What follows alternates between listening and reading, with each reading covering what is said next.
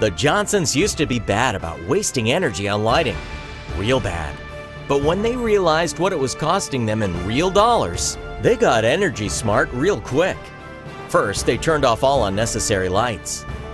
Then, instead of standard incandescent bulbs, they switched to Energy Star CFLs and LEDs. Talk about a bright idea! Now they use 75% less energy, plus the new bulbs last 10 times longer, can save $30 over the bulb's lifetime, and they're 75% cooler. What did that really mean to the Johnsons? Enough to cover three high-end coffees a day, dinner for the family at that fancy schmancy restaurant, another round of golf for dad, massage for mom.